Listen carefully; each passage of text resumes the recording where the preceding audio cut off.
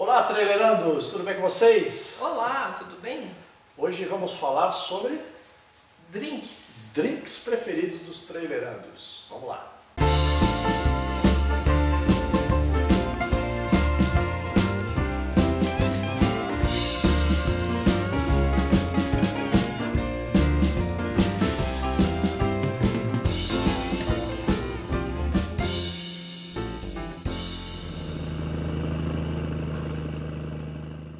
Primeiro lugar, é, a gente sabe que algumas pessoas não bebem, que algumas pessoas têm problema com o alcoolismo, é, então a gente respeita e se você por acaso tem alguma restrição, pula esse vídeo, deixa quieto, assiste um outro.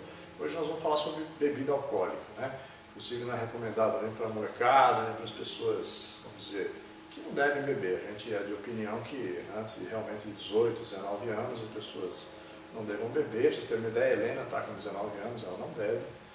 É, a gente sempre teve essa, esse cuidado, então fica essa ressalva aí, tá bom? Vamos falar sobre cinco drinks que a gente costuma é, fazer. Então o primeiro deles é uh, whisky com água de coco. Whisky com água de coco muita gente conhece, mas muita gente não conhece. E a gente começou essa, a experimentar o whisky com água de coco em 2006. Né? 2006 é, nós fomos para Noronha, Fernando Noronha. Eu fui num veleiro, participei da Refeno, que é a Regata Internacional Recife Fernando de Noronha. A Diana e a Helena foram de avião. A gente passou uma temporada lá em Fernando de Noronha. E a volta dessa regata, porque a Refeno é só ida, mas naquela época é, o governo da Paraíba, é, junto com o Yacht Clube da Paraíba, mantinha uma regata de volta para atrair os veleiros e é, incentivar o turismo lá para Paraíba. Então saía-se de é, Fernando de Noronha e era uma outra regata que terminava lá em João Pessoa. E a gente participou, eu participei também com o mesmo veleiro, com a turma de amigos, e a gente terminou uh, sendo, ganhando o prêmio na categoria, né? E a festa de entrega dos prêmios e tal, o encerramento dessa regata, foi num forte que tem lá, né? Um forte lindo, maravilhoso, com shows, teve sorteio, uma coisa maravilhosa. Teve um jantar maravilhoso. Um jantar lá, e tal. E os garçons estavam servindo uísque a rodo, né? O governo da Paraíba financiando, imagina que maravilha. E, o uísque para cá, uísque para lá, de repente passou aqui água de coco. Não, estou bebendo uísque. Não, é para colocar na água de coco. Falei, não conheço, vamos tentar experimentar isso aí. E, gente, é uma delícia. É muito bom. É, claro que uh, a proporção você que vai determinar. O coco, a água de coco do coco fresco é muito melhor do que essas de caixinha. Mas, mas a de caixinha serve, né? Porque afinal a gente está aqui em São Paulo, tá é. difícil né, de achar coco fresco. É, pois é. E, então geralmente a gente coloca ou dois para um, duas porções de água de coco e uma dose de uísque, eventualmente um para um, depende do estado de espírito, né? É isso aí. Vamos ver como é que faz isso aí. É bem simples, é só misturar. E o whisky com água de coco é a primeira dica do nosso drink.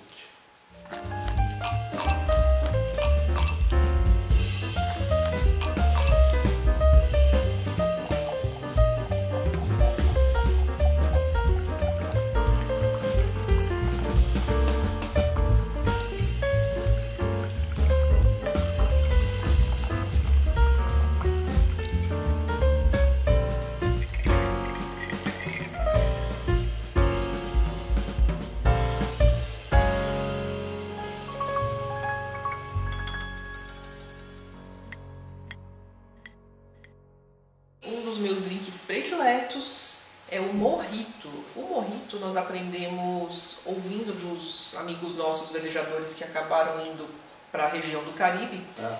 e conversando sobre os drinks de lá, eles falaram de um tal de morrito. Aí eu comecei a pesquisar morrito, como é que faz morrito e tal. E o morrito é feito com hortelã, limão e rum. E é uma delícia. Você chegou a ver na televisão? É, aí eu vi um programa na televisão de uma uma moça que visita os bares pelo mundo, né, levantando é. quais são as bebidas típicas de cada lugar. E aí a gente começou a fazer testes e aperfeiçoou a receita e acabou sendo uma das prediletas é. aqui. É, tem, vocês vão ver durante a elaboração, mas muitas, muitos locais fazem com um negócio pré-pronto, né? De, de uma água, um xarope de açúcar. Xarope de açúcar, outro já tem um limão com xarope, enfim, que a base é realmente é, é rum, limão, limão hortelã, açúcar. Mas assim, é, a minha receita preferida leva açúcar mascavo, que faz parte de uma das receitas. Da, no original, né? É, o original caribenho, eles usavam muito açúcar mascavo. A gente mescla, né? Põe um pouco de açúcar mascavo para dar aquele tom mais de melado, é, o adocicado do açúcar branco, limão, limão mesmo, né? E o rum de melhor qualidade que você tiver. É, e aí fica, ó. どうぞ。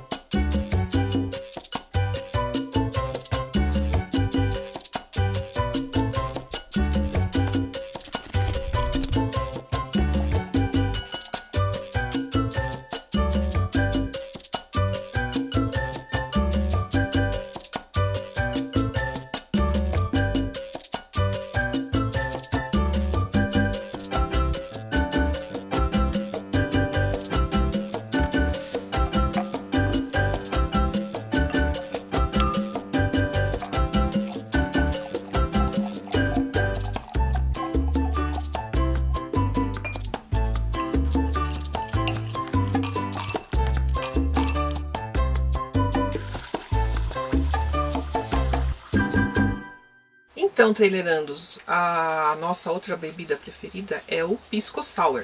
O Pisco Sour, apesar de ter sua origem no Peru, é, nós conhecemos ele no Chile, na época que minha irmã morava lá, nós fomos visitá-la, e num passeio ao mercado central de Santiago, nós fomos lá atrás de comidas e bebidas típicas e descobrimos o Pisco Sour.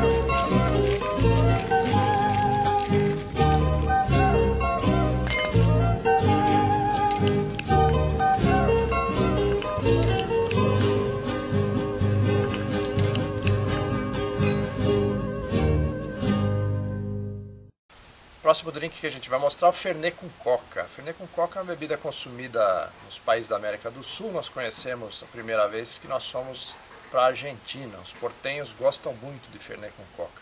E agora no Uruguai, quando a gente esteve lá, a gente matou as saudades.